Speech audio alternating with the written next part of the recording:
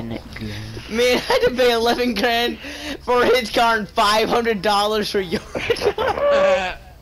Wait, look at that paint, 20 grand. Only have to pay five hundred dollars for nickel. Man, nickel. Oh. oh. Oh shit, oh shit. Oh,